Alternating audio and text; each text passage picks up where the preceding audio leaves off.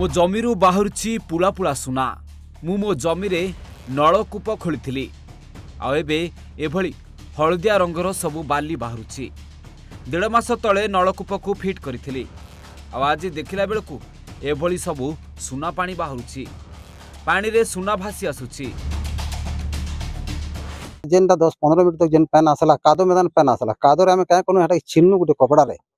ଏସବୁ ହଳଦିନିଆ ହଳଦିନିଆ ମେଦାନ ସବୁ ସେ କାଦୋ ସାଙ୍ଗେ ସବୁ ଥାଏ। ଆମେ ଦେଖୁନୁ ଯେ ଏଇଟା ହଳଦିନିଆ ଜିନିଷଟା କେନ୍ତାକିରି ବାହାରିଲା ବାହାରିବାର କଥା ତ ଧୋ ବାହାରିବାର କଥା ନାଇଁ ତ କାଣା ଗୋଟେ ଅବରୋଗ ବାହାରିବାର କଥା କିମ୍ବା ସୁରମା ମେଦାନ ବାହାରିବାର କଥା ହଳଦିନିଆ କେନ୍ତା ବାହାରିଲା ସବେ ଶୁନବାରୁ ତାର ହେନ୍ତା ସବୁ ଏଇଟା ଘଟଣା ଚାଲିଛି ହଁ ଆଜ୍ଞା ପିଇବା ପାଣିରେ ଭାସି ଆସୁଛି ସୁନା।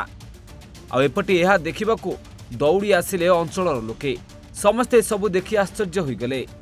ଏବେ କିଭଳି ସମସ୍ତେ ମିଶି ପାଣିକୁ କିଭଳି ଛାଣୁଛନ୍ତି ଆପଣ ଦେଖିପାରୁଥିବେ।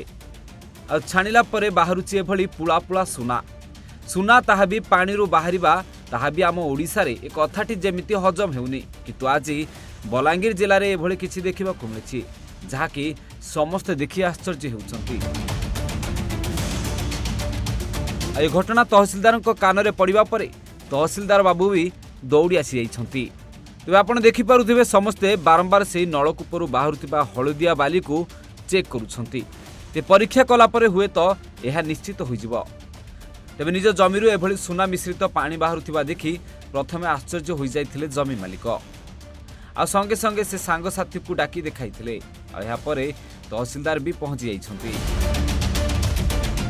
ହଁ, ସେ ଖବର ପାଇଲା ପରେ ଆମେ ସ୍ପଟକୁ ଆସିଥିଲୁ। ଜଣାଗଲା ଯେ ଏମିତି ଜାଭେଦ ବୋଲି ଜଣେ ଅଛନ୍ତି ଚାଷୀ। ତାଙ୍କର ଅ, କ୍ଷେତରେ ସେ ଆଟରେ ସେ ଗୋଟେ ନଳକୂପ ଖୋଳୁଥିଲେ। ସେଠୁ କିଛି ଚକଚକ ପାର୍ଟିକଲ ଆସିଲା ଯାହାକି ସେ ସୁନା ବୋଲି ଡାଉଟ୍ କରୁଛନ୍ତି। ଆଉ ତାଙ୍କର ହୃଦବୋଧ ହେଉଛି ଏଇଟା ସୁନା ହେଇଥାଇପାରେ ବୋଲି। ତେଣୁ ଆମେ ପୋଲିସ ଇନ୍ସପେକ୍ଟର ମୁଁ ଇଭିନ୍ ବିଡ଼ିଓ ବି ଆସିଥିଲେ। ଆସିକିରି ଆମେ ସେଠୁ ସାମ୍ପଲ୍ ଗ୍ରହଣ କରିଛୁ। ଆଉ ମୁଁ ଜିଓଲୋଜିଷ୍ଟ ସହିତ କଥା ବି ହେଲି ସଫ୍ଟୱେୟାର ସହିତ କଥା ବି ହେଇଛି। ଜିଓଲୋଜିଷ୍ଟ କହିଲେ କିଛି ସାମ୍ପଲ୍ ସେଠୁ ସଂଗ୍ରହ କରି ଆଣନ୍ତୁ ଆମେ ଲ୍ୟାବ୍ ଟେଷ୍ଟ ପାଇଁ ପଠାଇବା। ତାପରେ ଜଣା ପଡ଼ିବ ସେଟା ସୁନା ନା ଆଉ କିଛି। ଆଉ ଏବେ ଆପଣ ଦେଖିପାରୁଥିବେ କିଭଳି ମୋଟର ମାଧ୍ୟମରେ ସବୁ ଜଳକୁ ବାହାରକୁ କାଢ଼ାଯାଉଛି।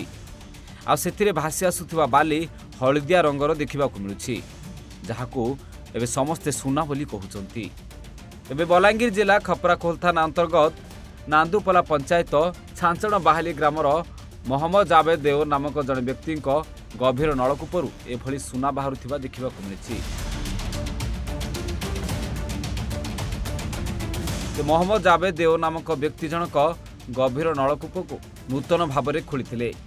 ସେ ପାଣିରୁ ସୁନା ଗୁଣ୍ଡ ବାହାରୁଥିବା ନେଇ ସନ୍ଦେହ କରି ସେ ସଙ୍ଗେ ସଙ୍ଗେ ତହସିଲଦାରଙ୍କୁ ଜଣାଇଥିଲେ। ଆଉ ତହସିଲଦାର ଆଦିତ୍ୟ ପ୍ରସାଦ ମିଶ୍ର ସେହି ସ୍ଥାନରେ ପହଞ୍ଚି ଏବେ ତଦନ୍ତ କରୁଛନ୍ତି ଆଉ ଦେଖୁଛନ୍ତି। ସେ ଖପରାକୋଲ ଥାନା ଅଧିକାରୀ ମଧ୍ୟ ସୁରକ୍ଷା ଦୃଷ୍ଟିରୁ ସେଠାରେ ଉପସ୍ଥିତ ରହିଥିଲେ। କାରଣ ଏଭଳି ସୁନା ବାହାରୁଥିବା ଜାଣି ଲୋକମାନଙ୍କର ଭିଡ଼ ଜମିପାରେ। ଆଉ କାଳେ କୌଣସି ଅପ୍ରୀତିକର ପରିସ୍ଥିତି ସୃଷ୍ଟି ନ ହୋଇଯାଉ ତେଣୁ ପୋଲିସ ମଧ୍ୟ ଉପସ୍ଥିତ ରହିଥିଲା। ତେବେ ଗନ୍ଧମାର୍ଦ୍ଦନ ପାହାଡ଼ ବିଭିନ୍ନ ଧାତୁରେ ଭରପୁର ଥିବାବେଳେ ଏବେ ସେଠାରେ ସୁନା ଥିବା କୁହାଯାଉଛି ଯାହାକି ଏହି ପାଣିରେ ଏବେ ଭାସି ଆସୁଛି ଛଞ୍ଚାଣ ବାହାଲି ଗାଁଟି ଗନ୍ଧମାର୍ଦ୍ଦନ ପାହାଡ଼ ପାଦଦେଶରେ ଅବସ୍ଥିତ ରହିଛି ଆଉ ସ୍ଥାନରେ ଖୋଦିତ କଲେ ଆଗକୁ ହୁଏତ ପ୍ରଚୁର ପରିମାଣରେ ସୁନା ବାହାରିବା ନେଇ ସମସ୍ତେ ଅନୁମାନ କରିଛନ୍ତି এটা তো গন্ধমাধর পাহাড়া তার তলে কিছু জিনিস বাহারি বি পারে সেটা কারণ আমি কই পারমা শোনা সোনা কি রূপা যে এটা কহিনি হয় বক্সাইট বলি তো কহেছন